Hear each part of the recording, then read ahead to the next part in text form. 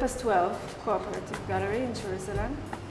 My uncles, my old uncles, came to see the gallery when we opened it and they said, oh, do you remember it is the place where the curtains uh, used to be? Yeah, I remember the shop, it was 50 years ago. This is the original floor and when we opened the gallery we thought about, well, it's too dirty, let's change it. And I think uh, it can't be changed. It's so beautiful and you see the, the time. I really love places that, in which you can see the time that passed. You can see what happened, like stains in, a, in a, an old book. Like it's, it's, it has a story, and I feel it's one of the story uh, this this uh, um, space has to show. Also, the um, area that this gallery sits in the middle of the city, very close to the market. It's not a gallery area. It's a very, very common and, uh, close to the people.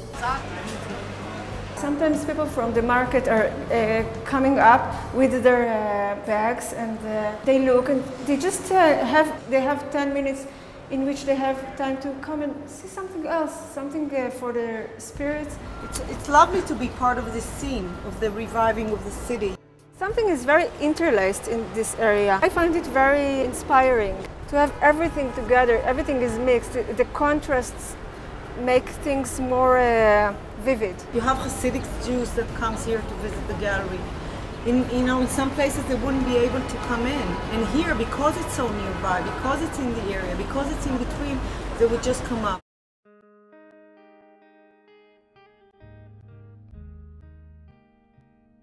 Many of my friends are living in uh, Tel Aviv. I was on my way to Tel Aviv and I already had an apartment there. And then on the last second, I said, no, I'm, I'm staying in Jerusalem. And being here and opening a gallery here is a kind of a vision. Something like a kibbutz, something like from the history of Israel, the people in groups came and built something together for one major ideal. We're not exhibiting outside uh, what we're working on, we're giving it to our city. The gallery gave hope to many people. When I told one of uh, the curators I know we're opening a cooperative gallery in Jerusalem, she was relieved.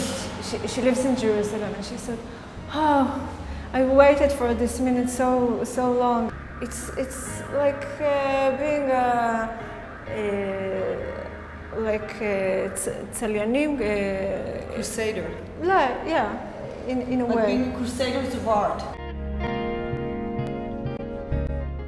I just uh, followed my heart and started photographing in Jerusalem a series about uh, the place that uh, I was born in and that I grew up in. The name of it is Bittersweet Jerusalem. I just uh, went around with the camera in Jerusalem for uh, two or three years and I felt this city is uh, entering inside my skin. It's very bitter and, and it's very hard for me to live in. And even though it's so bitter, it's also sweet and full of good memories.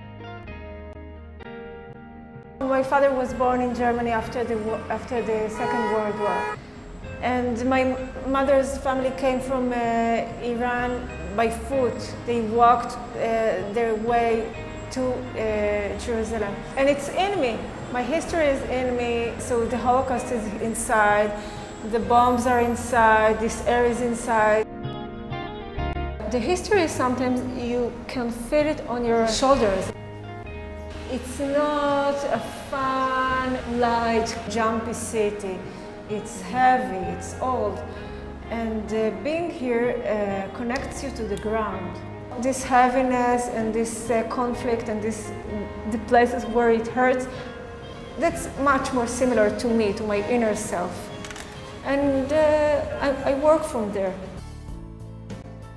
There's something here in the air that, uh, I don't know, I need this air, I need it. This is the place I want to breathe in.